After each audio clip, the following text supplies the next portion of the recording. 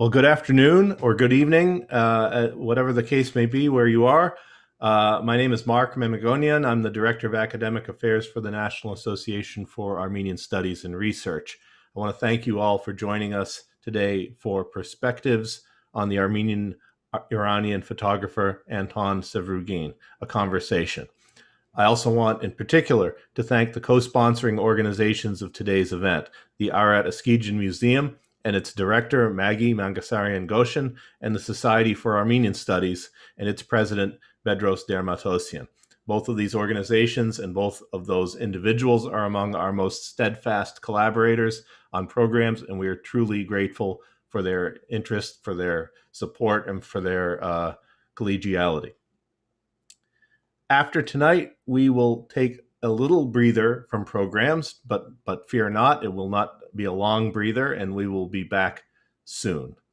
Uh, a reminder to all of those who are joining us tonight on Zoom that you can submit questions for the speakers using the Zoom Q&A function at the bottom of your screen and we will try to get to as many of those as possible. As ever, we ask you to keep them short and on on topic.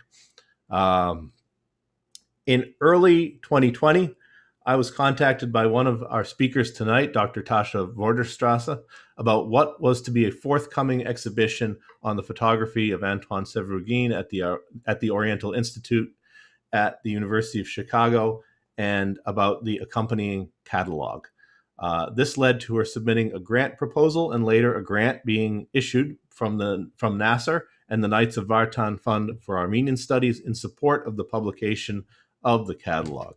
And I'm very happy to be able to hold up a copy uh, of this beautiful catalog that has been published.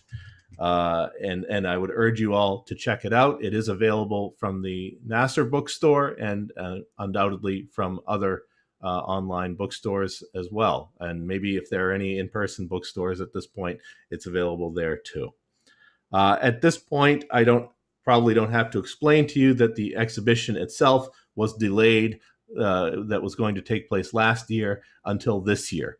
Uh, but regardless, we're very pleased to have been able to provide support for this very valuable work. And tonight, to bring together three of the scholars who contributed to the volume to discuss various aspects of Sevruguin's work. I'd like to just give brief introductions to our, our three speakers in, in alphabetical order.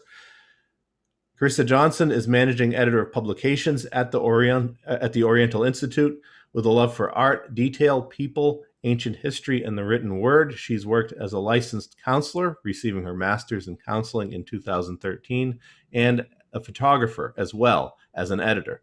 She has been a professional photographer for over 15 years, providing portrait, wedding, newborn ballet, and family photography. She continues to photograph part time in addition to her editorial work at the Oriental Institute and enjoys the way both mediums incorporate design elements, enhance one's living, and tell individual and collective stories. Paulina Kassian is currently serving as Assistant Director of Development and Events at the Oriental Institute. She received her diploma in history of Russian art from St. Petersburg State University and her master's in art history and humanities from the European, Insti- European University at St. Petersburg, Department of Art History. Her area of research includes ancient Russian art and architecture, the national movement in Russian art and architecture of the 19th century, and the reception of Western architecture in the late Soviet period. In 2019, she co taught a class with Tasha Vorderstrasse entitled Imagining Central Asia, which examined the Russian perception and depiction of Central Asia from the early 18th century to Soviet times. And Dr. Tasha Vorderstrasse is the University and Continuing Education Program Coordinator at the Oriental Institute of the University of Chicago. She received her PhD in Near Eastern Archaeology from the University of Chicago.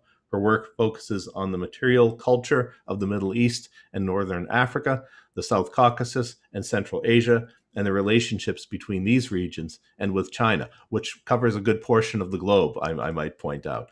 Uh, she has done archaeological fieldwork throughout the Middle East and was the co director of the Oriental Institute excavations at Ambroyi in Armenia. She has also led two Oriental Institute trips to Armenia and Georgia and she is currently curating the Oriental Institute special exhibition Anton Sevruguin, Past and Present, which you can see either virtually through their website or attend in person on a limited basis. This exhibition will be on throughout this year, and you can also download uh, a PDF of the catalog book, which I will again hold up for, for visual purposes, which she edited. Uh, it's online. The PDF can be downloaded free, um, which is fantastic. Uh, it's also nice. The physical object of the book is also a wonderful thing. It feels nice in your hands, and it, and it looks really nice when you open it up. So uh, I would encourage you to to get both media in your in your hands uh, as soon as possible. So I will now turn it over to our speakers, who I once again want to thank for for joining us for this special event, which I'm very excited about. Thank you. Thank you very much, Mark. So I'm going to now share my screen, which will hopefully work. Uh, hang on, let me just,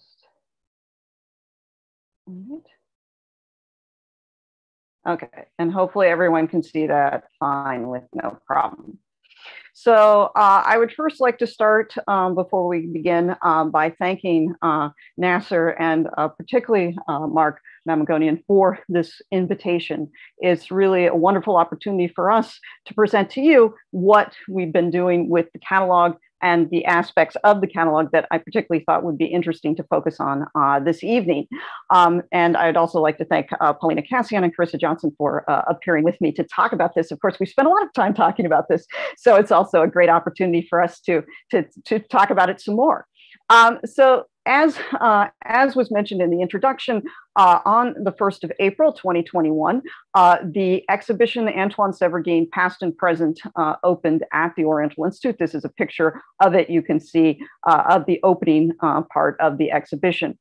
we were very fortunate that we were able to put this exhibition on, despite the fact, obviously, that as we know, the world situation meant that the exhibition was somewhat delayed. The exhibition itself consists of a selection of uh, reproduction, primarily reproduction photographs from the OI collection of photographs uh, from the late 19th century, most of which are by Antoine Sevruguin. There's 153 of these photographs in total. And in addition, some of the original photographs were also put on display. So this really gives you an opportunity then to see some of our collection. But of course, the majority of the photographs, and in fact, all of them, ended up being published in the accompanying catalog. And it was this catalog that really helped me sort of start to think about what it was I wanted to do in the exhibition. And that was really to uh, approach Sevruguin from a very specific point of view. So as Mark pointed out, here's the catalog itself. And Carissa Johnson, who is the head of publications at the OI, was really instrumental in helping lay out the photographs, lay out the entire book, and of course also put together the cover of the catalog, which you can see here, um, where basically we drew upon the uh, signatures of Antoine Sevruguin on the backs uh, or even the fronts, as we'll see, of many of his photographs. And we're able to produce what I thought was really a beautiful volume that sort of exemplified uh, late 19th century photography, specifically 19th century uh, Iranian photography, which of course is what Sevruguin um, was doing.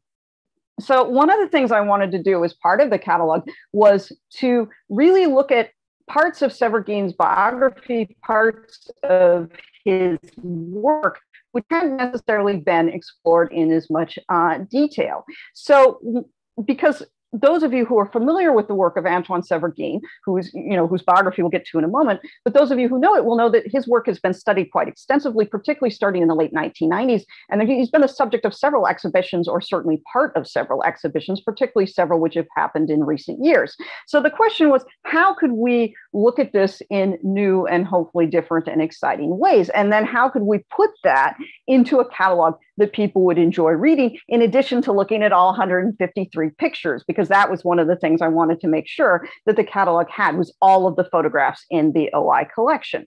So as a result of this, uh, I was very lucky that many we have many talented people at the Oriental Institute. So we're very fortunate to have a very deep pool of expertise upon which to draw in various different aspects. And one of the first things I wanted to do was understand when Sevruguin was as a child and as a young adult living in the South Caucasus, specifically in what is now Georgia, but was, of course, at the time part of the Russian Empire, how does his studying art, Russian art, in Georgia inform what he did when he went back to Iran and became a photographer. So it was one of these things where uh, I knew because I'd worked with her before that Paulina was an expert in this. So I invited her to become part of the catalog and contribute. And equally, I was interested in looking at photography as such. So I'm not a photographer.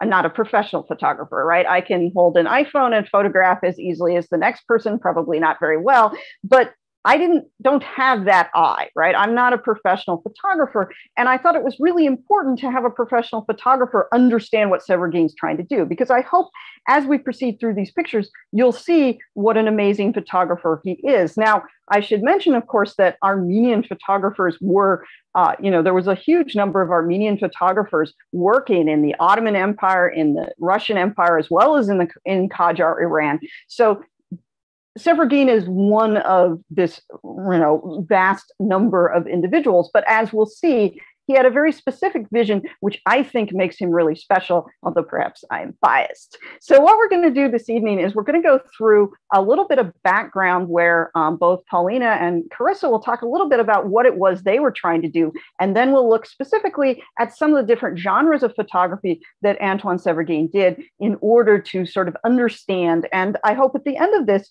you will have a greater appreciation for, quite frankly, what a genius, I mean, really, uh, Antoine Sevruguin was. And it's not a word I use lightly, but I think, yeah, his work still speaks to us and inspires us today.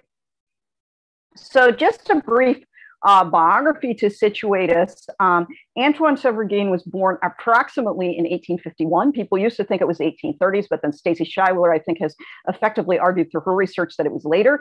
And he was born in Tehran, uh, on the grounds of the Russian embassy. So I, one might have expected that as an Armenian living uh, in Iran, where, as we know, there's a large uh, Armenian population, uh, that he would be part of the Ar- Armenian Iranian community in Iran. But his family actually came from the Russian Empire. His father was a Russian diplomat.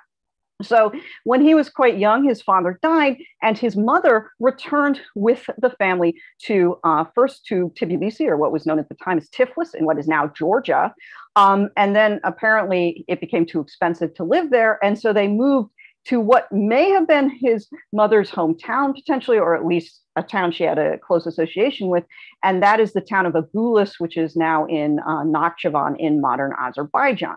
Then he lived in Agulis, uh, and then after that, uh, went back to Tbilisi and started to study art with Dmitry Ermakov.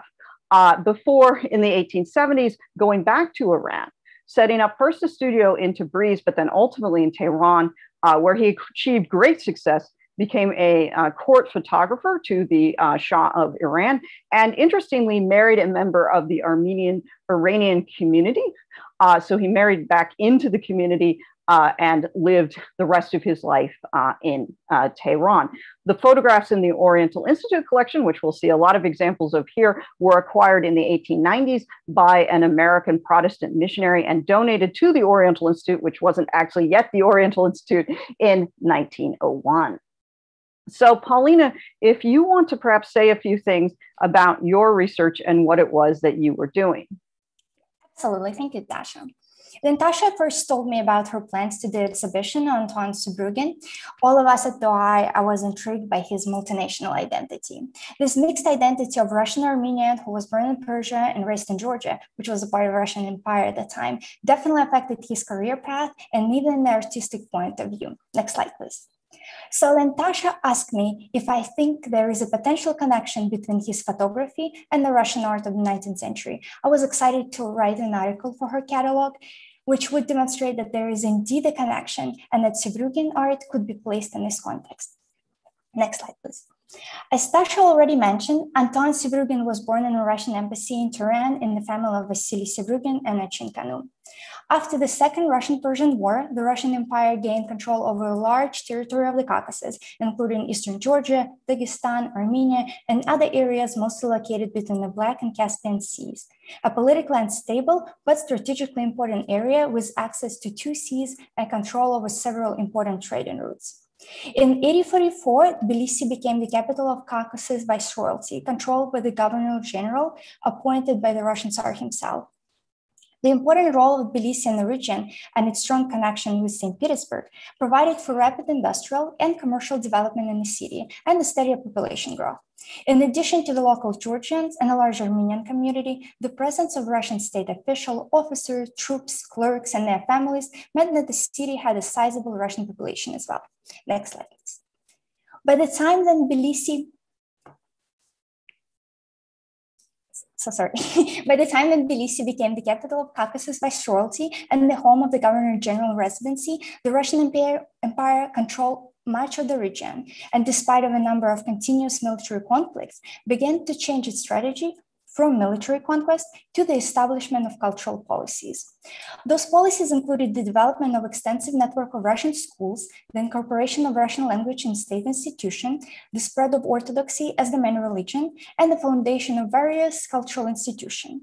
Those cultural institutions shaped Tbilisi cultural life in the second half of the 19th century, and we pose it in the catalog article, strongly affected the development of Anton Sevruguin's career in art and photography. Anton Sevruguin likely moved to Tbilisi to study art in the late 60s or early 70s. By the time, a rapid growth of the city population and financial stabilities created favorable environment for the development of the art scene. Artistic life in Tbilisi during those times was just beginning to take shape under the influence of the cultural life in St. Petersburg. Russian officer and state official brought with them contemporary cultural trends in arts and Russian artists who could meet those tastes. While there are not any specialized art school in Tbilisi until 1873, the city had a healthy art community, which consisted of mostly Russian, Armenian, and Georgian artists who graduated from rather the Imperial Academy of Art in St. Petersburg or the Moscow School of Painting, Sculpture, and Architecture. Most of them were sent to the Caucasus for military or state jobs. In addition to their work on state expedition projects, many of them taught art at local school, a gymnasium, or conducted private lessons. Thus, any informal art education received by Antoine Sevruguin and Tbilisi in the early 70s would have likely been based on a tradition of Russian academic art. Next slide, please. According to the biographers of Anton Sevruguin, we know that shortly after moving to Tbilisi, he met the local photographer Dmitry Yermakov, who became his mentor. Dmitry Yermakov was born in Tbilisi in 1846 or 48. In 1860, he graduated from classes organized by the local military topographic department, where he studied topography and the photography as a part of his topographic training. By the end of 60s, he was actively involved in a number of archaeological, ethnological, and geographical expeditions in the region. In addition to that, he was working on the catalogs of the archaeological collection the Museum of Caucasus in Tbilisi. Next slide, please. Following his studies, Yermakov opened his first studio of photo portraits together with Russian artist Pyotr Kolchin in the center of Tbilisi. Unfortunately, the details about Pyotr Kolchin life are largely unknown to us. We know that he was born around 1838, and in 1855, he enrolled in the Moscow School of Painting, Sculpture, and Architecture. Next slide, please. In 1864, he submitted one of his paintings to the Imperial Academy of and was awarded with a small silver medal, recognizing him as a specialist in portraits paintings. The award provided Kolchin with the status of free artist, and sometimes in the middle of 60s, he moved to Tbilisi. Over the next few years, he met Dmitry Yermakov, and together they opened the photo studio Photography by artist Kolchin and Yermakov. This collaboration between the military topographer and the portraitist played an important role in development of the photo style of Yermakov and likely later influenced Sevruguin as well. Right. So perhaps Carissa, now that we've sort of gotten a sense of where he got his inspiration for his photography, once he went to uh, back to Iran and opened up his photo studio, maybe you can talk a little bit about the technology he would have employed and what he would have been doing. And also, you know, I, I referred to Sevruguin earlier as a genius. What what does that actually mean from a photographic point of view? Thank you, Tasha. I I'm so excited to be here with you all, and I would love to talk about Sevruguin. Studying him and spending a lot of time on this catalog has been really inspiring, and I really appreciate his work. So I'll be speaking briefly about the photographic technology that he used, primarily his camera, the type of printing that he did, as well as the techniques that he employed, primarily lighting and composition. So to start off, this is probably the type of camera that he would have used. It's a wide format camera during Sevruguin's time, photographs were produced by coating a glass plate with light sensitive chemicals and then placing that at the back of the camera, which you can see on the left, um, and exposing it to light. This would create a negative image, which you could then use to generate multiple prints on light sensitive paper. Exposures could take several minutes depending upon how bright it was, which is important to note because as you look through Sevruguin's portraits, I see people who we're probably posing for one or two minutes, but still look relaxed or active or engaged rather than stiff, which is incredibly hard to accomplish and speaks to his skill. We can move to the next slide, please. We have a few photographs of his camera. Uh, here is one that he took to a monument, and it's important to keep in mind that he would have had to have taken the glass plates, the chemicals, the tripod, and the camera all on horseback to locations like these. And you can see his camera there with a uh, dark cloth over it. Next slide, please. Here's another image that Tasha found of him captured in the reflection of a mirror standing next to his camera, which is kind of interesting. And the next slide, please. And one more of him with his camera. You can see him in the foreground in the shadows with the dark cloth over the camera next to another person. Um, moving on to the type of printing that he did, once he'd received or once he'd completed taking the glass plate negative, he would have used a term albumen printing at the time was popular. This was accomplished by coating thin pieces of paper with an egg white or albumen and sodium chloride or a salt wash coating the paper with this, which would create kind of a glossy texture to it as well as endue it with the necessary chemicals. After drying, the paper would then be treated with another wash, this time with silver nitrate to make it light sensitive. And then he would then have those papers ready to place underneath the glass plate, exposing the paper to light for anywhere from a couple minutes to up to an hour, depending upon how um, bright he wanted that exposure to be. This would create a print, which was fairly cheap to reproduce and easy to distribute and sell. And albumen, I'll note, yellows as it ages, which is why so many of his photographs have a yellowish hue to them. Next slide, please.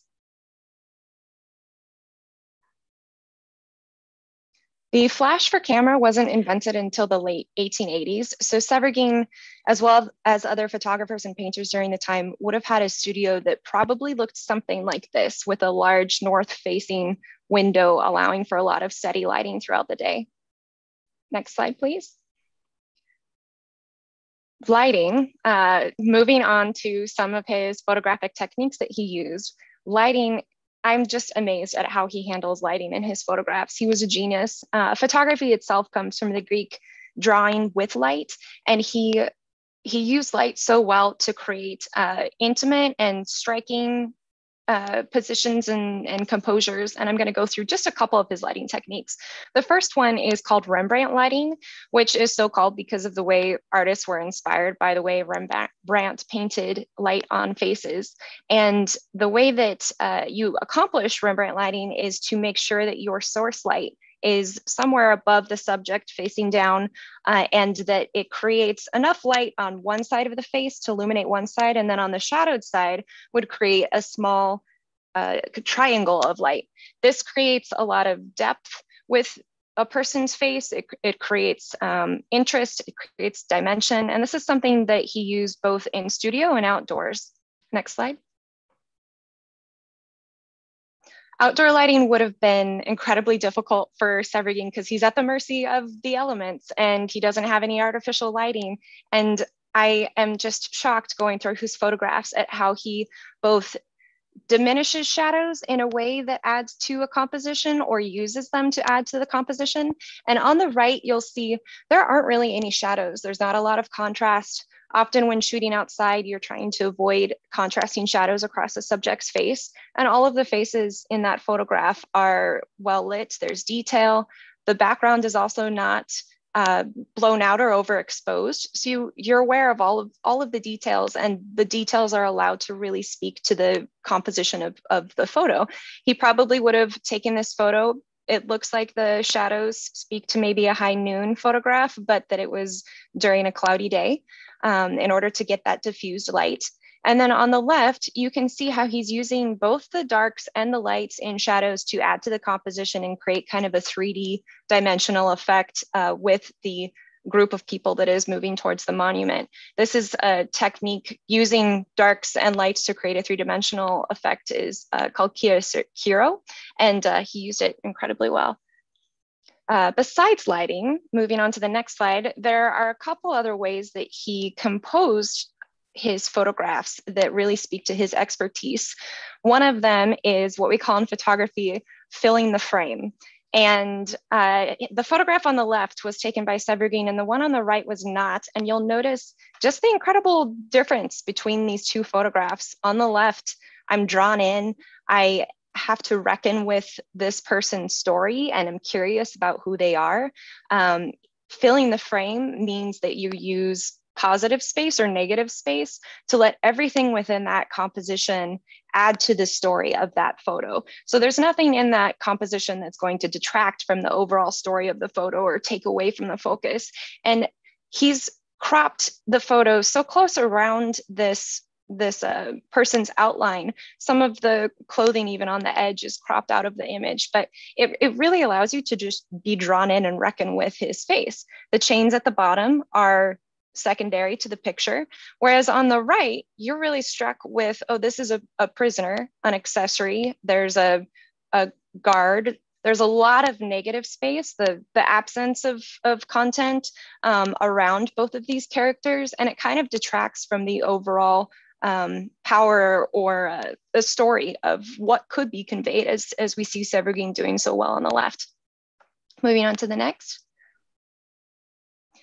Sevruguin, again, this is a good example of his use of negative space and using it to talk about um, or to add to the story of the subject all of this vastness in the background uh, is adding to the story of the two subjects in the in the foreground.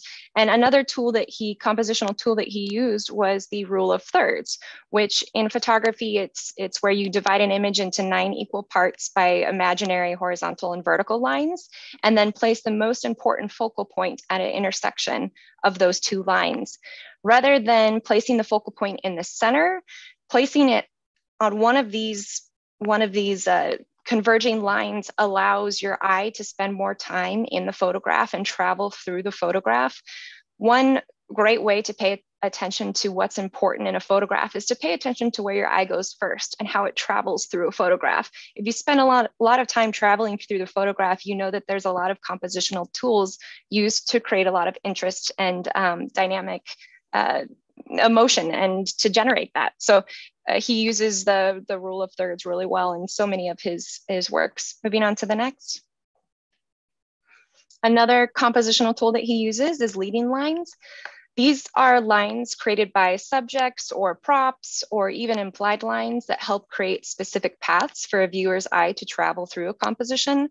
On the right, you can see the literal uh, diagonal lines that converge toward one of those focal points of the rule of thirds, um, creating some, some interesting dynamic there to maybe a monument that wouldn't be as interesting to the eye if there wasn't some movement within that composition.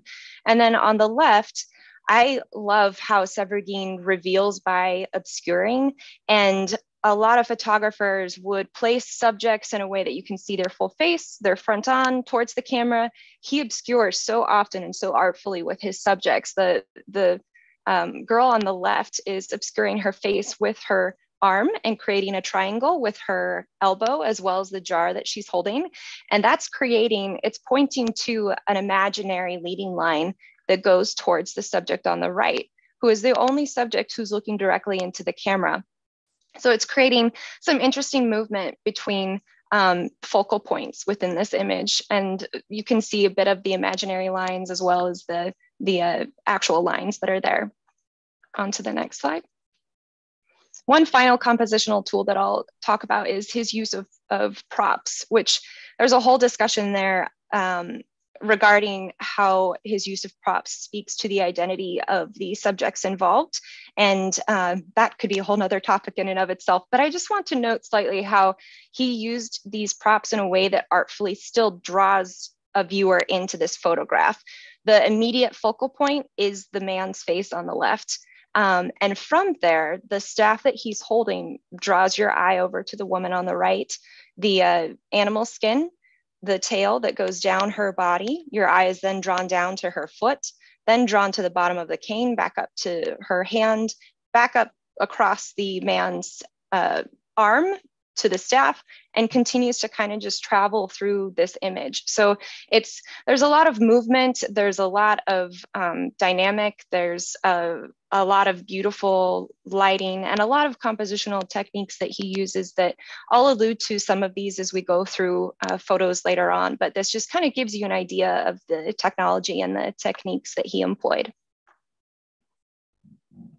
Thank you, Carissa. I mean, I think one of the things that really strikes me with Sevruguin is that he is following a lot of the same genre, types of genre pictures that other photographers were taking in the late 19th and early 20th centuries. And a lot of this material was to supply the market for, for example, uh, tourists who would come to the Middle East and uh, North Africa, for example, particularly uh, in the Ottoman Empire. Um, and would buy pictures of will see monuments and things like this, but also wanted to buy pictures of various ethnic uh, and religious groups. And Sevruguin is doing this too. A lot of these pictures were purchased by um, uh, tourists or people who lived uh, in Iran and then came back uh, to uh, North America and uh, Europe. Um, and you know this was a popular thing. But what Sevruguin does is he takes a genre which we see a lot of pictures of. So these were pictures which would have been photographed not just by um, Western tourists visiting and making their own photographs, but of course purchased by them. And as I mentioned before, a lot of those photographers, um, particularly in the Ottoman Empire, were uh, were Armenian. Um, so they would have been purchasing from these, you know, Armenian photographers, um, and they also, um, you know, so they would have been buying these specific scenes. But what Sevruguin does that I think really works well here is that he draws you in in a way that you don't necessarily get with all the other photographs. Now, that's not to say that those photographs themselves are also not wonderful because they are, but this gives you a different feeling. This gives you a sense that you know these people, that even though they're wearing clothes that, you know, particularly now we see as being something completely else, we feel like we sort of know them. They're, they're, they, they create this idea that you start thinking about what is their story, right? And I think it's really, and as i say i'm not a professional photographer but you know what really struck me and you know one of the reasons as i say that i really wanted carissa to be involved in this publication was because i knew he was doing things i just didn't know what he was doing exactly and so it meant that you know i i knew he was making the space appear to draw me in and making me feel a part of their lives but i had no idea how he was doing this so perhaps carissa you could speak a little bit about how he was doing this Yes, I would love to. Um, just to go through each of these photos briefly and allude to some of the compositional techniques I referred to earlier. On the left, it's really um, uh, the use of props here is is really well structured in a way that kind of pulls your eye up to that third focal point of the rule of thirds on the right and then pulls it up to another focal point on the left and kind of creates a triangle between the man's hand and then back up the the prop the rifle to that point and back around. And it creates a triangle of movement around his face um, which is is a really interesting way to compose that image the second image, again, we have some more curved lines and implied lines within this tree that he's using to kind of frame a, a rule of thirds focal point, um, and create some more movement. The branches, especially kind of reaching towards the subject on the left, and then hurricane, bringing your eye back down to the bottom and again around through the photo.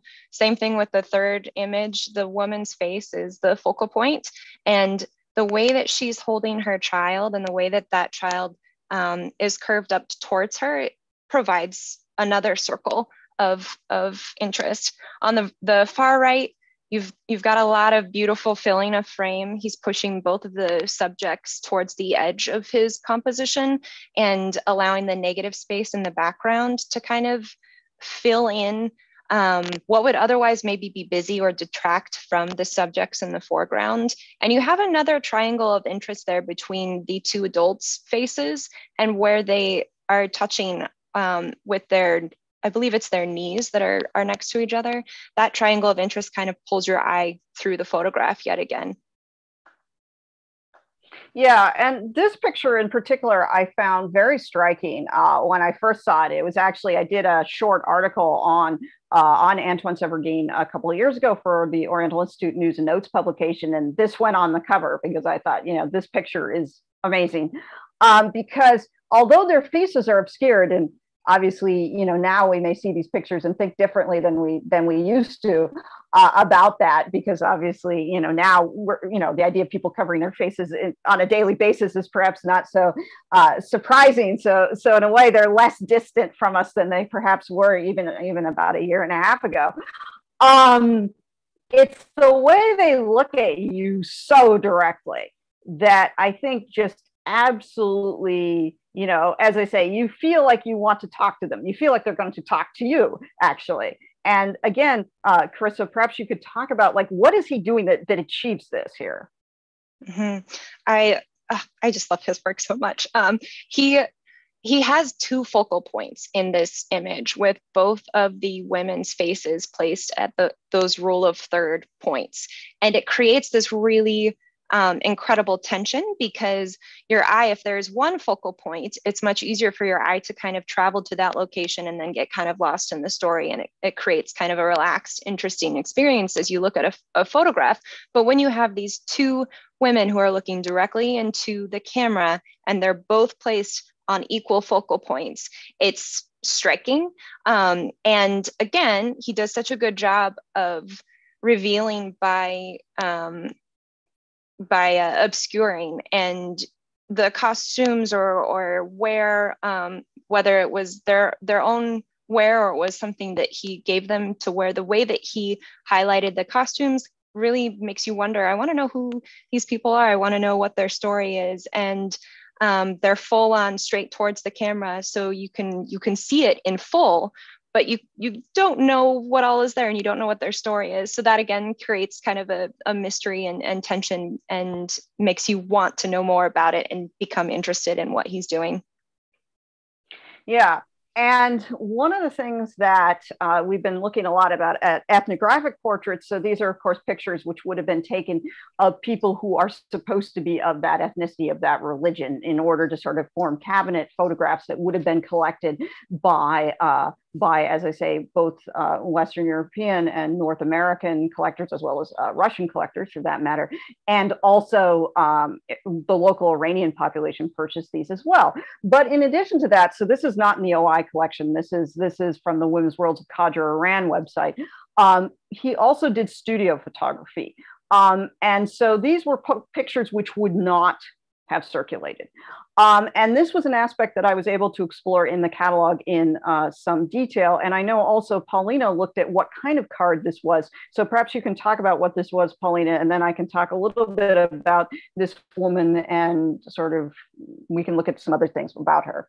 Sure, Tasha. So this particular type of portraiture, the so-called cartes de visite, or small portraits printed on a piece of card, were extremely popular among the locals due to their cheap production cost.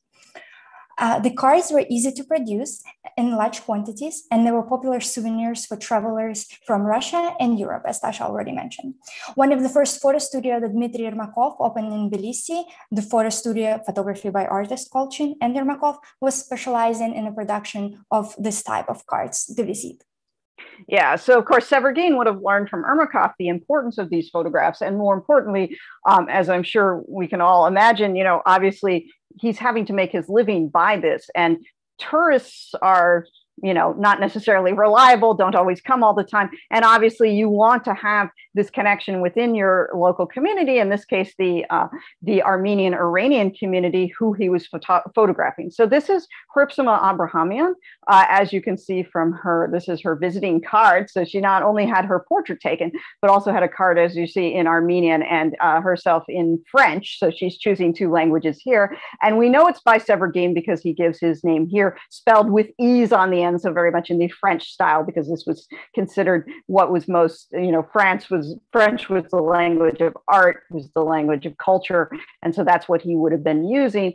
And you can tell that this would not have been a picture that would have circulated. So this is not something that we're going to find in the museums of Europe and the U.S. I mean, the Sevruguin pictures we have in the OI collection there are parallels to those in multiple collections because those were the things people bought and we know that this wouldn't have circulated precisely because you know she's wearing this early 20th century costume this is very clearly a private picture that she would have used to give to her friends uh, and family and perhaps carissa you could talk a little bit about the technique that he was using uh, here in terms of the studio pictures Yes, as you can see, he's using Rembrandt lighting to create some dimension on the face, which is also at one of those rule of third focal points.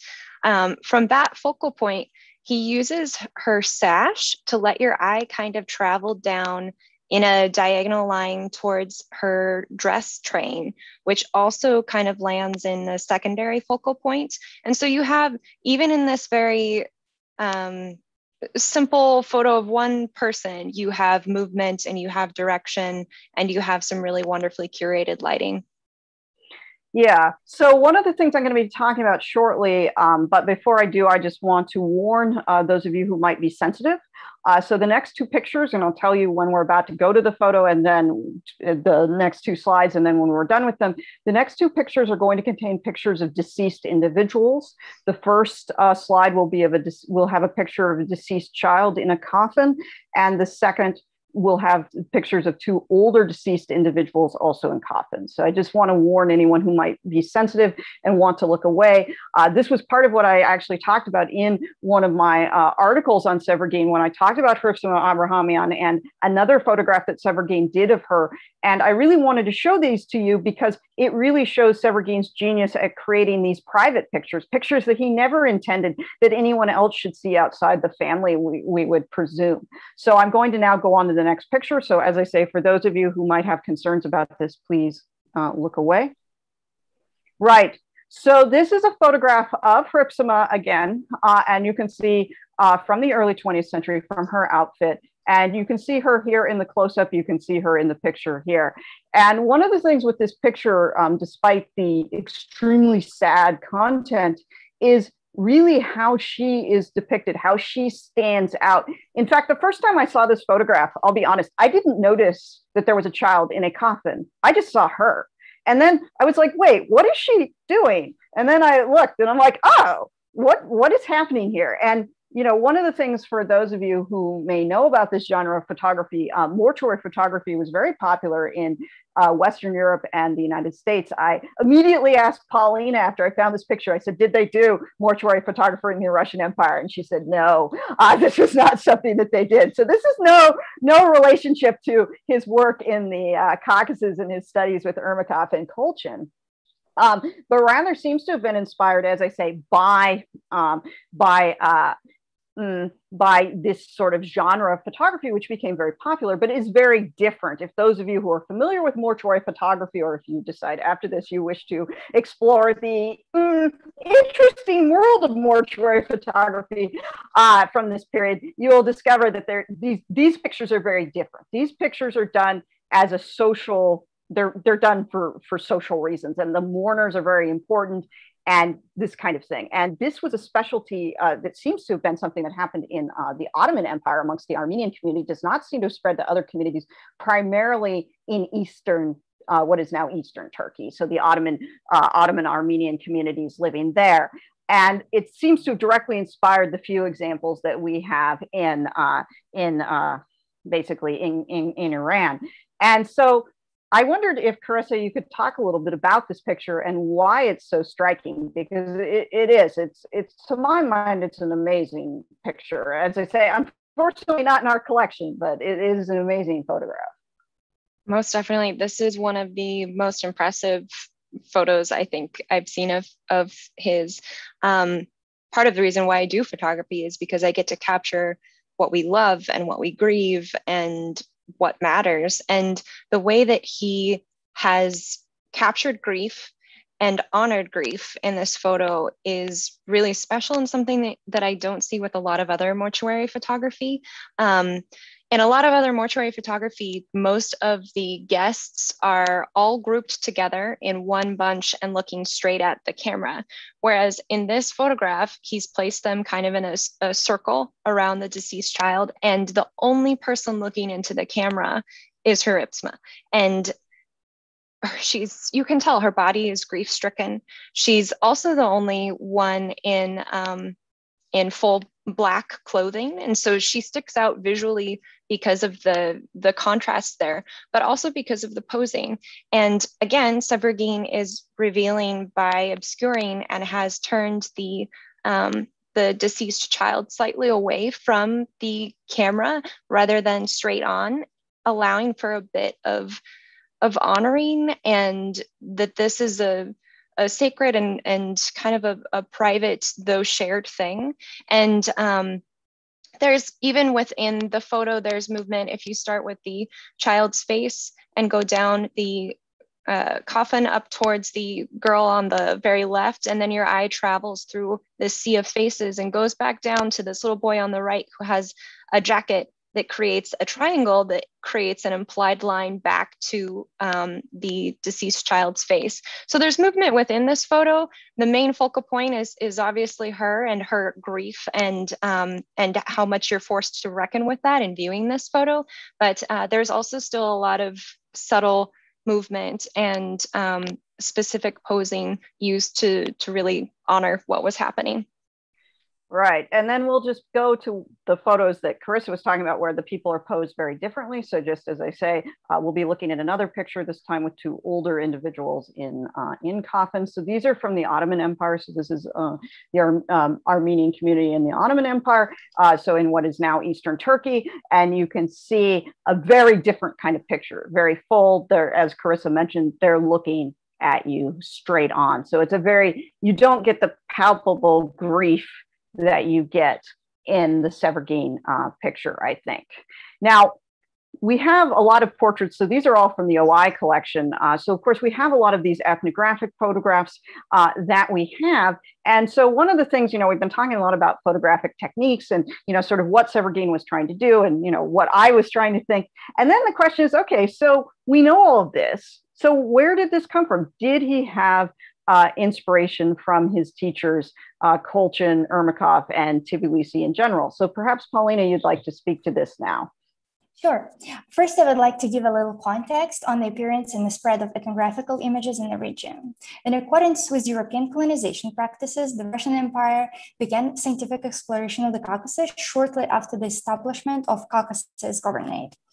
The study of the region was supposed to introduce the Caucasus and resources to the government and its subject, and most importantly, to support its status as a part of the Russian Empire. The first geographical ethnographical expedition to the Caucasus began in the 50s, and the leading role in the organization was played by the Imperial Geographic Society. The mission of the society was to collect and study the geography, history, and ethnology of the different regions of the vast territory of the Russian Empire. Among its first members were geographers, linguists, historians, ethnographers, artists, and military topographers. You might think that military topographer may sound like an interesting addition to the scientific expedition, but in reality is one of one of the first profession of the time to use photo cameras to create the accurate records of the landscape for the creation of maps. The appearance of those first depiction of locals, villagers, and city inhabitants occurred in the Russian Empire around the end of 18th century with so-called atlases of the empire. Later, the similar drawings of local population were produced separately and published in scientific publication of its time. As you see here, those drawings would draw attention to the clothes, hairstyle, and the physical appearance of the depicted subject to demonstrate the difference from those who lived in Central Russia. The production of similar ethnographical photos for sale was also a part of Dmitry Ermakov business strategy. Next slide, please. In the opposition of this approach to the depiction of locals, Antoine Sevruguin actively applied principles of the realistic genre in his photographic work. It's especially noticeable here in his portraits of street scenes and portraits of dervishes, where he concentrated on telling a story and reflecting the psychological condition of the character. Despite the fact that the majority of Sevruguin's portraits of locals taken on the street of Tehran were produced as ethnographical illustration, his approach to the topic and models was first and foremost artistic. Next slide, please. The development and the growing population of realism in the region naturally supported the growth of photography and provided new ways for early photographers to represent their subjects.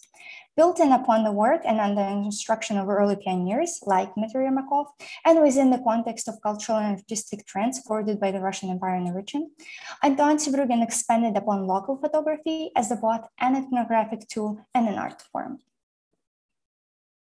Right. So one of the things I think that we see when we look at Sevruguin, you know, that really strikes me always is his ability to use outdoor space. So, and his also his ability to compose a scene. So what you may not realize here is this looks like he's standing in a crowd and you know there's happens to be an ice cream seller selling ice cream to all these happy people eating ice cream uh, however, this is not at, at, all what it appears to be. So while these individuals may have genuinely been ice cream sellers and their customers, um, this is actually photographed on the parade ground, the drill ground uh, in Tehran. So this is this giant, uh, you know, basically field where you know they would do parading and things like this. So this is, you know, so it's it's actually empty probably. There's probably nobody behind him nobody on either side of them. But yet Sevruguin makes it look like there is and the other thing that I think is interesting with what he does is, and speaking as someone who is not a fan of empty space, um, he actually uses empty space to his own advantage and isn't afraid to use it. And I greatly admire him for that because this would not be something I would be able to do. But yet, as we see, the, there's nothing in the background essentially. I mean, you can kind of see that something's there, but it really just sort of vanishes. Again, creating this view of space and size. And perhaps Carissa, you'd like to talk a little bit about, you know, his what, you know, what he's able to do here photographically speaking. Yeah, I think this photo is absolutely incredible. The um, the main focal point is the one subject who's the only one who's looking directly into the camera, who is the smallest, who's the only girl who has the least power probably out of, out of anyone in this in this photo she's also her face is is the uh, darkest exposure so that you can see the details on her face the most clearly. So um, when i look at this photo i immediately see her and that's where my eye goes. The way that he used the people and posed the people around her is really interesting as well. Um, if you kind of pay attention to the head directions and the uh, placement of heads and and uh, see where people are look, looking and what implied lines might be there, it creates a bit of an infinity symbol from the little girl's face around to the right, where the two heads on the right are, down to the cartwheels, back up and back around, and creates a lot of movement. So you have some interesting dynamics there with movement. You've also got the, uh, as Tasha mentioned, the negative space in the background uh, used also in a way that creates a, a rule of thirds. You've got the horizon line at uh, one of those placements, and then you've got basically where people are standing as, as another one of those lines. He's filling the space um, with people's bodies on the left and even cutting somebody off just a little bit to kind of provide a little bit of tension. Um, but again using a cart as a as a means to reveal he's obscuring the little girl who is the main focal point and yet it's adding more interest and it's it's maybe even adding a bit more context to her story. And um, i just i just love everything about this photo. Even the gentleman who is fifth from the left the way that he's posed with his hands underneath his face and the way that his his hat and his face and his hands create a bit of a triangle that that also again creates an implied line towards that little girl is um, really beautiful there are so many beautiful things happening in this photograph that I could talk about for a very long time, but I will not. yeah, you're not the only one. I, I, I remember when I first saw this picture and I was like, I don't know what's going on here, but this is amazing. Um, so perhaps Paulina, you'd like to talk a little bit about sort of how he's getting inspiration for scenes like these. Sure.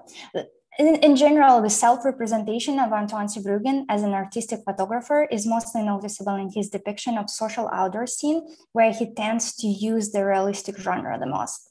The realism, with the, its importance on the true representation of the subject and almost ethnographical interest in the details, certainly affected the way in which the Caucasus were represented in paintings and photography in the 60s and 70s, the time that Antoine Sevruguin would receive his informal art education in Tbilisi. The widespread popularity of realism in Russian art of the second half of the 19th century was mainly due to the work of Peredvizhniki, or the Wanderers, a group of realistic artists who left the Academy of Art in protest of its outdated, in their opinion, academic principle of education. As a result of their protest, they founded a cooperative of artists whose main mission was to promote the realistic genre. The art activities of the group included the organization of annual exhibitions in St. Petersburg and Moscow, which were widely covered in newspapers across the nation. Next slide, please. The subject of their paintings ranged from landscape of the changing season to portraits reflecting the psychological condition of the characters to social genre seen with a special attention given to the lives of peasants, city workers, and the middle class. The interest in the depiction of common people helped foster the development of ethnographical painting in the same period. Next slide, please. As photography spread throughout the region without established standards for medium, early photographers employed all manners of style and subjects. However, as previously mentioned, close collaboration between early photographers and artists at the time, combined with the overall interest in the exploration of the Caucasus and nearby territories, led to the general prominence of the three main genre in the local photography. It will be landscapes, social scenes, and portraits. Those same genres were actively promoted by Russian realism in the second half of 19th century and were widely developed in ethnographic art. Yeah, so one of the things that hasn't gotten as much really first from several, so we're, we've, we've been looking a lot about his outdoor scenes, his portraits, which are, yeah, perhaps the things for which he is the most famous. We've also been looking at his studio pictures, which didn't circulate as widely as, as we've noted. Uh, but also another thing that he's known for is his landscapes. I mean, it hasn't, as I say, gotten as much attention, uh, but I do think that um, it's one of these things where, uh, you know, the you can still see what he's trying to do and what he is doing is very impressive and so just as he spends a lot of time putting together and composing because it's clearly that he did spend a lot of time putting his pictures together and composing them, and yet making sure that everybody appeared natural, which I cannot imagine was an easy thing to do. He clearly also spent a lot of time thinking about how to put together his pictures of landscapes uh, and also of uh, monuments, uh, such as what we can see here. And again, just as we've seen with his pictures of um, of you know basically of of people or people within places we can see here how he's paid a lot of attention and again i'm not the photographer but he's paid a lot of attention to how he composes this right this is not just someone who showed up and took a picture a la what most of us do right when we're on holiday and therefore, what this means is that monuments that people would have been familiar with, because in Iran, basically tourists would visit a certain tourist track, right? So there were certain monuments that you would go to, and then you would either photograph them yourself or you would then buy pictures from someone like Sevruguin, probably from Sevruguin, since he seems to be the most common person who supplied foreign tourists with their uh, with their pictures. Um, and so as a result, um, it's one of these things where uh, he makes it special right so so i mean this monument may be photographed by a bunch of other people and as we'll see shortly we can see a real contrast with that but this is striking right you want to go and see these places because you're like wow this is an amazing thing and what Sevruguin did when he went throughout iran was he did photograph all of these monuments. It's also the case that his pictures were taken by tourists and also scholars uh, and used by them, not always, unfortunately, crediting him. Uh, so perhaps, oops, sorry. Uh, perhaps uh, Carissa could talk a little bit about what he's doing in these pictures. I really love his use of leading lines when it comes to landscape and monument photography. Um, there's also, especially with these two images, there's a really beautiful use of negative space. On the left, the mountain in the background, it's just clipped at the very top to kind of create um, or emphasize the grandeur um, there's not a ton of negative space above the mountain that would lead you to believe that there's a lot of space there. It, it fills the frame. It, it's it's a bit overwhelming. Same with the image on the right. There's only a tiny little bit of negative space at the very top that that adds to how how big and looming this structure is. Um, there are horizontal lines in this, such as on the right, that kind of provide some calm and then on the left, there are a lot of diagonal lines that create movement and interest. If you just follow your eye down the sides of the mountain and through the village, there's a lot of um, kind of a zigzag pattern where he oriented the camera in a way that, that kind of lets your eye continue to go back up and down the image. Um, there's curved lines in there and vertical lines, and there's more information that I've placed there on specific leading lines. But one other thing that I'd like to talk about with the image on the right is that he knows also when to break rules uh, of photography. And one of those rules is the rule of thirds. He's placed the uh, monument right there, smack dab in the middle, and you're confronted with how overwhelming it is. It's, it's almost a bit uncomfortable. And I think um, his use of the rules of photography, as well as his occasional breaking of the rules, really speaks to how well he knew these rules and how well how well to use them. Yeah, and I think when we contrast Sevruguin's uh, material with the monument, basically it's the same shot of, of, of, several decades apart, we can get a sense of how he's doing something that's different, right? So his photograph, which is uh, the one of the OI photographs, is on the on the left, and you can see. I mean, this was again a photograph I found to be very striking. Um, you know, just just looking at it, you know, and I initially I was like, where is this exactly? And you know, it's the Blue Mosque in Tabriz, which of course uh, is a you know a very famous monument now in ruins. And if you contrast it with the picture that's in the Metropolitan Museum of Art, that may be by Luigi Pesce, who was the first uh, photographer to take photographs in Iran. Uh, he's Italian. You can see the difference, right? Even though it's faded for one thing, which doesn't help, but nevertheless, you can see how what Sevruguin is doing achieves a much different effect. Now, I'm not saying necessarily that that's good or bad, it's just different. And perhaps uh, Carissa could talk a little bit about why the, the Sevruguin picture seems so much different than the Pesce picture, even though they're really not that different, actually.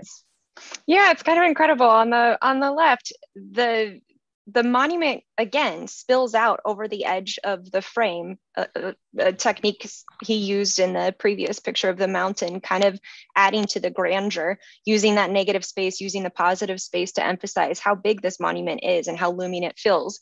Where on the right, the negative space above the monument isn't really doing a lot. You've captured the image, but it's not adding to the story of the monument. It's not adding to the, the artistry of how overwhelming that monument might feel. Um, additionally, Sevruguin was very mindful of the shadows in his, in his composition. On the right, the shadows don't really create leading lines. Um, there's not a lot that they add to the image, whereas on the left, the biggest shadow is a diagonal shadow that that goes from the the middle of the right corner down to a, a kind of a, a, secondary focal point within that image, creating a, a, bit more movement to something that might not have a lot of, of movement um, and creates more, more dimension. So there's a lot going on in this with him filling the frame, using negative space, using positive space, using implied diagonal lines. Yeah, and perhaps Paulina, you could talk about how you know he may have been inspired to do this sort of artistic photography uh, thanks to his training as an artist in the uh, in the Russian Empire in in Tbilisi.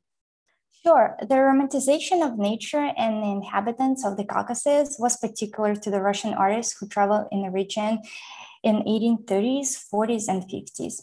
Most paintings on the time will depict breathtaking views of mountain ranges, ancient fortresses, churches, and panoramas of cities and ports. The landscape produced by Russian artists in the Caucasus were often reproduced in lithography and published in numerous research publications, as well as in formal panoramic view and cityscape albums. Next slide, please. Those albums with landscapes and scenes of local life became an important tool in introduction and popularization of the Caucasus to the rest of the Russian Empire. Wherefore, the growing popularity of those same subjects in early photography in the region grew from the well-spread tradition of lithography in the first half of 19th century and the demand of the audience to see those relatively well-known views of local nature and life. Yeah, so what we were trying really to do today through some of the uh, talking about sort of my feelings and research on Sevruguin's pictures as well as uh, Paulina and Carissa's was so that we can better understand you know, I think Sevruguin's photography and also I think appreciate it. I have to say, after I read uh, Carissa's uh, piece for the first time, I suddenly began to understand why did I feel the way I felt when I looked at Sevruguin's pictures. And just as after I read Paulina's contribution, seeing how his artistic vision took form or could have taken form. And so, you know, it's really something that we were very uh, fortunate to do.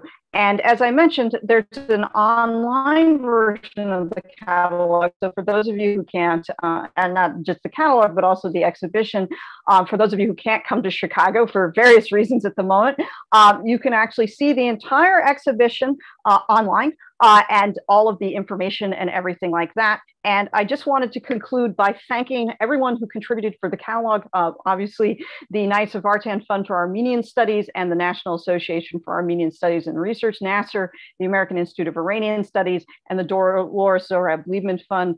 I would like to thank you all for this opportunity to talk, and I'm happy and I know my colleagues are as well, to answer some questions about this or other aspects of Sevruguin's work.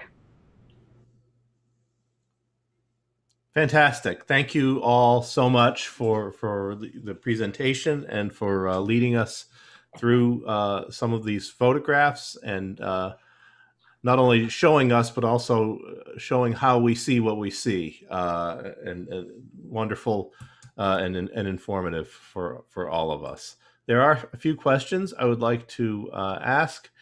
Um,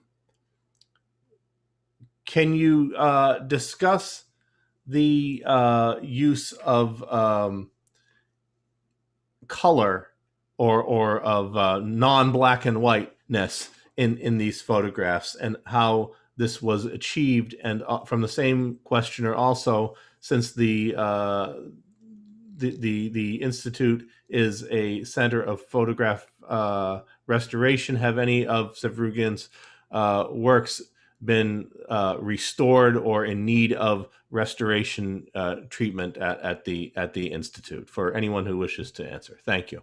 Right. So I'll start and then I may ask Carissa to weigh in on the color uh, issue. Um, but yeah, so it's very interesting you bring that up because that was actually one of the aspects of the catalog that we uh, that uh, we looked at, and we actually did a colorization. So the two women with the face veils, who you saw, there's also another picture of them in our collection, which uh, shows them with two men, perhaps their husbands, brothers, it's not really clear who. Anyway, we actually did a full. Uh, we did we did a, a basically Josh Toulousiak, who works in the prep shop uh, we did a, uh, he basically put it through Photoshop and colorized it because I was very interested in this whole question of, you know, we see Sevruguin so much in black and white, just as we see so many of these photographers in black and white, because that was pretty much what there was, although there was the possibility to take color photographs. Uh, Prokudin Gorsky at the beginning of the 20th century did that throughout the Russian Empire. Um, and so we actually, for the, in the exhibition, there's actually, we, we we had uh, they printed out the prep shop did this giant picture of the of the colorized Sevruguin and put it on the wall to give people a sense of what this would be like because I did want to remind people that it's you know, it's not the whole story, right? This is just giving us a part of it. So when we look at the costumes, when we look at all of this, we're just seeing it. When we look at the monuments, we only see it in these sort of different shades of, I guess perhaps Carissa can speak to this, the exact color coloring that he's doing and how he's trying to manipulate what is a very limited color palette. Yes. Um, so just to clarify, all of the images that we have of uh, taken by Sevruguin are originally taken in black and white, but that process of using albumen printing with that egg wash on paper is what uh, the egg wash itself ages. When it ages, it, it turns that yellowish color. And so that's where you're getting the yellows and you're getting those kind of hues in those photographs. So um, that's a, a byproduct of the, the printing as far as the the colorizing images that Tasha spoke to, um, it's kind of a, a, neat thing to do in the way that technology has has allowed us to be able to figure out, oh, this was maybe a green dress or a red dress, and why would we know? There's a, that's a whole nother topic, but um, the albumen itself continues to yellow as it as it ages. Yeah, and I think you see sort of these gradations of gray that he's able to manipulate very, I think, skillfully. So yeah, it's it's a black and white image, and yet it's very dynamic because he's using shadow, I think, so expertly. And and would he, uh, at the time when he was taking the images, have been aware of this aging process and and have factored that into his composition? Do you do you suppose? I think so, and the reason I say I think so is people did know that this was what happened. This is this is because it's so common in albumen prints, and indeed one of the things somebody was asking about conservation. So we were very fortunate to uh, get a grant from the American Institute of Iranian Studies to actually conserve all all of the prints. So we have 152 original albumen prints in one copy, and the 152 have now all been conserved. And that's basically they were cleaned, they were rehoused, and some of them, the now conserved prints are on display. And so that means that basically, uh, yeah, they're now in the best condition that they can be. They were they're not in an album, so they're on loose pieces of cardboard, and that cardboard has somewhat mm, you know warped through time but you had to do that because the albumen the paper was so thin. So you mm. had to immediately stick it down on something. If you didn't it would have curled up. But yeah i think he knew that it would change color because it's funny when i look at Sevruguin pictures you know, I often will see that many of them have this same colorization. Now, those of you who are familiar with the Freer-Sackler collection, which has the, probably the largest collection uh, of uh, pictures, will know that there's he has there are glass slides there. And some of them you saw in this presentation, the really super sharp black and white images. Uh, and so you can see there you know what it would have originally been looking like. But yeah i think he knew because he was certainly someone who seemed to have planned everything. So i'm convinced he also planned for sort of the afterlife of his pictures and what would have happened to them yes. Thank you. Can you what can you tell us about the numbers that appear on the photographs? Someone with very good eyes uh, asks Yes, having spent much time with these numbers, and uh, Carissa will know because we had to, to laboriously enter them all in. Um, so basically, this was a common technique. People would sign their negatives with number systems. Ermakov used this as well. Uh, so this was something that the Russian photographers used. Uh, not every photographer did this, and Sevruguin doesn't put a number on every picture. But basically, you'll see numbers. Some, and so basically, these are his negative numbers. Now, Sometimes there's more than one number. And the other thing that he does is sometimes you have the same picture and different negative numbers. So clearly he had multiple copies, which you could do uh, with glass slides. And then the other thing that he does that distinguishes him from people like Ermakov is that he hides his numbers.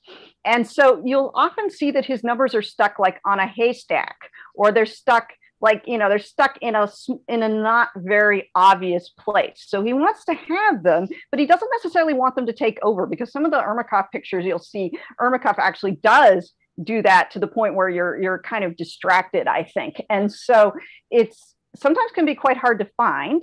Uh, there were there were ones that I actually missed the first time I went through them, uh, and and actually because he he so artfully hides them like everything he does.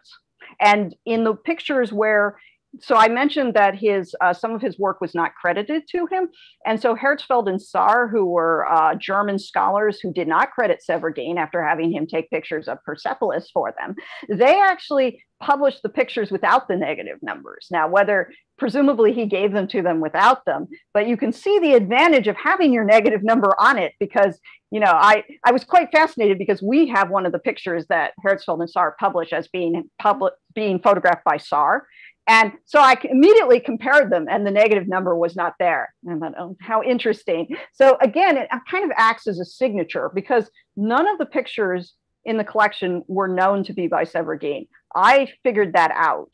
So it was one of these things where when they were given, the woman, Mary Clark, the Protestant missionary, was like, well, here's some pictures. Hmm. And, um, you know, I think she went to Sevruguin's studio. Uh, she worked in uh, various schools in both Tabriz and Tehran. So she would have probably known the Armenian community. As we know, these Protestant missionary schools were uh, trying to convert uh, both Armenians and, uh, and Assyrians to, you know, Protestantism. And so I think she would have probably had quite an potentially quite an involvement with the Armenian community, at least the ones who were attending the school. And presume, and of course, Sevruguin was the person that you would go to in any case. Um, but it's one of these things where she never says. She's just like photos of Iran. Uh, so it was one of these things that when I saw the pictures and I started to realize these are special pictures um, because before I knew who they were by. And then I read something where someone said, oh, actually, they're by Sevruguin. There was like a one line thing where someone said this. And then I thought, oh, of course. Of course, it's Sevruguin. Now all is all is clear. So it's it's one of these things where having negative numbers is very beneficial, even if we don't always know what they mean. What can you tell us about uh, Sevruguin's family and, and descendants, especially those who were uh, also engaged in, in artistic ventures? Yeah, so Sevruguin's family. Um, so first, his father. Uh, so maybe Paulina, you want to talk a little bit about his father first of all, and then we'll talk about him and his and his descendants. Oh yeah. So Vasily Severygin, his father, uh, he was a part of the Armenian community in Moscow, and he attended Lazarev Institute of Oriental Studies. That was like kind of a center for the Armenian community there. And uh, he graduated from the Lazarev Institute. That by the time that he graduated, it was already the Institute of Oriental Languages, such as Arabic, Turkish, and so on. So a lot of graduates of the Lazarev Institute were um, becoming diplomats and they were sent to different areas like to Persia. That's how Vasily Severygin got to Tehran or other regions. And they were kind of like representative of the Russian Empire there. Yeah, and what's interesting is that, of course, people look at Sevruguin's name and they're like, well, but this doesn't look particularly Armenian necessarily. And of course, originally it was Sevrugian, and then they Frenchified it to make it sound more yeah, this was something. I mean, you actually saw Ayvazovsky's paintings. Paulina was showing. He's also Armenian. He's Armenian from the Crimea, um, and again, is not going by you know a necessarily hugely recognizable Armenian name. And I think it's also interesting that Sevruguin, uh, he, in addition to this, he actually his family and they were Russian Orthodox. So this was quite common that uh, Armenians working for the Russian Empire, and the Russian Empire was very keen on using Armenians as part of the I mean, it sounds sort of ironic to say this, but the Russification process of uh, colonization were, in fact, uh, would convert to Russian Orthodox. And so his family, in their uh, burials, and this has been documented by Stacy Scheiwiller, uh, they're actually buried in the Russian section in Tehran. So his wife's tomb even though his wife is a member of the Armenian Iranian community and potentially didn't actually speak Russian, uh, it's hard to tell. Um, she uh, she actually has a Russian gravestone and so does his you know and this kind of thing. So there's this whole sort of very interesting thing. As far as his family so his his daughter uh, one of his daughters actually assisted him in his studio and she took her own pictures. We i don't know very much about her unfortunately. I've been trying to find out more. Um, but she actually ran the studio after he died of kidney failure in 1933 um, so she kept it going for a while. Um, I his brothers seem to have several of his brothers seem to have assisted him, as did other members of his family, we presume. Um, as I say, his wife comes from a uh, a Armenian Iranian uh, family in Tehran, and uh, Tehran in this period was a huge growing city. Obviously, the biggest communities of Armenians in Iran were in Tabriz and in uh, New Julfa, the suburb of Isfahan. Uh, but there were, because Tehran was growing so much, there were a lot of Armenians moving to this new city. So, yeah, one of his sons becomes a very talented artist. Um, and so it's clear that the family continues this tradition of photography, of art. And uh, I have looked in vain for draw, uh, drawings or paintings by Sevruguin, which would be very interesting to compare not only to his son's work, but also to uh, his painting, but uh, unfortunately, we don't have that uh, for him. We do for Gabriel Lekegian, who's an Armenian artist uh, from and photographer who was born in Constantinople, but then uh, worked, ended up working in Cairo. So for him, we do have both his paintings and his uh, photographs, but not for uh, unfortunately. But it's clear this was a very artistic, very talented family. The father, the son, his brothers, his children, you know, all of this. Thank you. Uh, did did he take any photos in uh, Agoulis uh, where he had spent his youth? And and in fact, we were discussing this a little bit before the program. Uh, this takes on uh, additional poignancy uh, because of the erasure of the Armenian cultural heritage in in Agoulis and in Nakhchivan in its entirety uh, by by the government of Azerbaijan. Yes. Um, yeah. I mean, obviously, you know, in the and and for centuries, of course, Agoulis was a large, uh, had a very large and very vibrant and prosperous uh, Armenian uh, community, of which presumably uh, Sevruguin's mother and perhaps his father, we're not really sure, uh, was also part of, and presumably he had family who were living there that they lived with at this point. Uh, there, as far as uh, I'm aware, you know, Sevruguin's pictures seem to, at least the ones we can attribute to him, seem to have really started once he got to Iran. Now, presumably he assisted Ermakov. Um, I'm not actually sure if Ermakov took pictures of Agoulis, so um, I would not be surprised. Ermakov's work, which you know presumably Sevruguin would have assisted with, he um, he actually took we and we have thousands and thousands of his pictures, which have not been fully studied yet. These are mostly in Tbilisi in Georgia. Um, obviously, there's certain monuments in Agoulis that uh, certain Armenian monuments in Agoulis that I suspect that if uh, if if if either Sevruguin or Ermakov had photographed that they would have photographed. Those monuments are extremely yeah, we, we know exactly what they look like, even though they no longer exist. Uh, and so they would be very identifiable. So it would be actually, and it's actually a really interesting idea because uh, I'm looking to go on to do more looking at this relationship with Ermakov and Sevruguin, which hopefully Paulina will continue to assist me with, uh, that we uh, could actually take a look and see. Now, I do know that Ermakov took a lot of pictures. He went to Armenia, took pictures of Armenians. There was a exhibition, I think in the 80s, uh, a Russian exhibition that looked at that. So definitely, um, I would not be surprised if there were, and it would be very interesting because, yeah, as as as we know, those monuments aren't there, and so this would be a very valuable and yet more valuable evidence for those monuments and buildings. Can you talk about the extent to which, uh, or the ways in which um, Sevruguin staged his photographs? Including the placement of or, or not placement, uh, depending on the situation of, of, of humans within the frame uh, when he was taking pictures of monuments. The, how how composed are we to understand these images to be, as opposed to, you know, uh, simply taking a picture of of what was there uh, randomly? Yeah, it's a, it's a leading question, obviously. Well, it's very interesting because he actually, and I'll, I'll turn it over to Chris in a second, but this is a very interesting question because so in the chapter four of the catalog, I actually talk about this quite a lot with his pictures, photographs of the monument of Pasargadae, the tomb of Cyrus the Great in Iran, where he spends a lot of time either taking pictures with lots of people. So suddenly Pasargadae, he does this with Persepolis also, where he takes photographs where there's tents in the background. So this this is the expedition. So as Carissa was talking about, they had to come on horseback, and then they they camped in the uh, in the Apadana, which is obviously not what you could do now.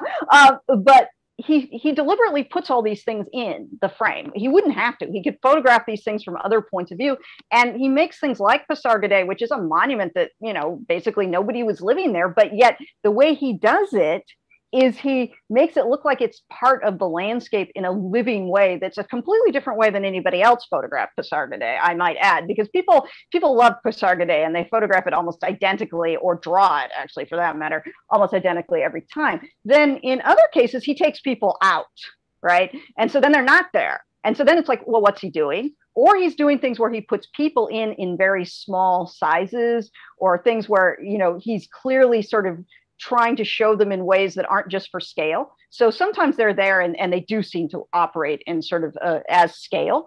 But in other cases, it's clear they're doing something completely else. So it's sort of going beyond what you might call the typical monument photography. Um, Carissa, I don't know if you have any comments on this. Yeah, I think when I look at Sevruguin's photos, he was very intentional with whatever he did include and whatever he did not include. And um, so in and of itself that's something to kind of consider looking through his photography and how he put people or placed people next to monuments. It could be the instant that there was somebody there as he was photographing that he maybe didn't intentionally place there but it is also important to note that because of the nature of photography during the time and how long it took to expose a photograph it would take a minimum of one to two minutes to actually capture that that uh, negative glass plate image. And so he would have to be thinking about where to place his camera, what subjects are in front of his camera, what direction the light was coming, and really anticipate all of that because each of those photographs that he took on those glass plate negatives it took a lot of time it took a lot of investment you had to be very intentional about it um, and also you're carrying these big glass plates with you out, out by horseback. You don't want to waste any of those. They're really precious. And so I think, especially with some of the monument photographs where there are people that you can see in certain positions, it, it looks intentional and it looks like there are special leading lines and negative spaces and things like that. Um, and I think just the nature of the type of photography would have have made it more intentional either way. Yeah, there's a few cases where he's taking outdoor photographs where it's clear he's taking photographs where the emphasis is on, say, the monument. So there's a picture that we have in the collection of the Gulistan Palace where he does seem to have people kind of wandering into shot a bit. But even there, it seems like it's deliberate and he's waited until a particular moment to get what it is he wants and then he photographs it. So even in instances where he's maybe not completely in control of what they're doing, and you also wonder how much he's interacting because we have another picture in the collection where he's up high and he's looking down across a street with a bunch of people on it. And a bunch of those people are actually looking at him like straight at him. When you look at the picture you can see that. So it's like is he talking to them? What is he doing? You know are they just looking up at this strange thing that's happening up on the roof? You know so there i think there's a lot that's happening that it's clear he's a it's it's yeah i mean and it's not for nothing that i have an art one of my chapters is called intentionality it has has the word intentionality in it because he that is what he does. He intends everything he does as i say controlled intentional and yet natural all at once which is why i think he's such a fantastic photographer. Question that uh, since not all of Ermakov's photos were actually taken by Ermakov, uh, are all Sevruguin photos taken by Sevruguin? I mean, you know, obviously, when you're talking about a studio, um, presumably you have the person who is, and you saw it in the pictures, Sevruguin seems to have had an assistant. And you see that person in the pictures. Now, whether this is his son or one of his brothers or who this is, it's clear that he has people helping. We heard already his daughter, as I mentioned, his daughter was involved in the business. So he's definitely directing it. Whether he's personally taking every single picture, that's not always clear. Um, in the sense that you know he could have you know been there and told you know whoever it was, but I think just the way that it is to do it but he would have been involved. And, and I say that because of the way his pictures are so distinct. With Ermakov, you can see better that he sort of told whoever to go off and do whatever and perhaps was not as involved. But with Sevruguin, you really see that involved, his personal, I think, involvement in exactly what is going on, whether he's personally the one holding the glass negative or not. Thank you then uh, it, it remains for me to convey uh, actually the first comment, not a question, but a comment congratulating you. And I would like to join in congratulating all of you uh, on, on the catalog and, and, and, and the, the person submitting this, this comment, who is a scholar, uh, commend you on your approach, which explores and reveals the many facets of his genius and his cosmopolitan identity, but equally important, his Armenian connection. So uh, I, I, would second that uh, observation and sentiment, and and uh, really we've enjoyed tremendously hearing and seeing uh, the, the about the work. and uh, look forward to more. And again, since I like to hold up books, uh, I want to show off this book and encourage people to to seek it out. Again, you can you can get it from the NAASR bookstore, or you can download the PDF, or you can you can find it elsewhere on your own. Uh, but it's it's a wonderful accomplishment, and uh, it's both beautiful to look at and informative to read. So that's a great combination. Thank you all for your for your wonderful contributions to the book, to the exhibition, and to making this evening possible. So bravo and thank you. Thank you so much for having us. Really, it's as as you may gather, we're very we're always we're really enthusiastic to talk about this, and it's yeah. really I wondered, privilege. I wondered if you were. Yeah, no, I, that very much comes across. Yes. Thank you, and thank you everybody for joining us. Have a wonderful evening, and uh,